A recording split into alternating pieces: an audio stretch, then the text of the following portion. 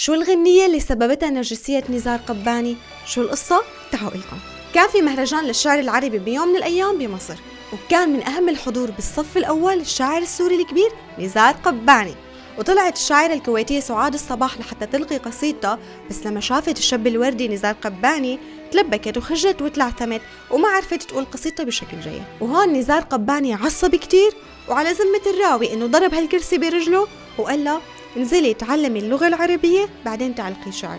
وطلع لبرا دخل له سيكارتين وهون الصبية أكيد زعلت. بس مفكرين إنه كرهته لنزار قباني؟ لا ما حدا بيكرهه أصلا.